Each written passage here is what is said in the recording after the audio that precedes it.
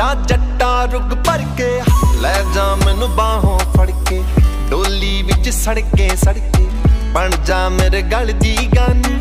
ਦੇ ਜਾ ਕੋਈ ਪਿਆਰ ਨਿਸ਼ਾਨੀ। ਸਾਂਭ ਕੇ ਰੱਖ ਲਾ ਮੈਨੂੰ।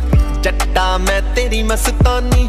ਤੇਰੇ ਨਾਲ ਵੇਖਣੀਆਂ ਈਦਾਂ ਤੇ ਦਵਾਲੀਆਂ ਲੋਕਾਂ ਦੇ ਚੱਲਦੇ ਡੀਜੇ ਸਾਡੇ ਸਨ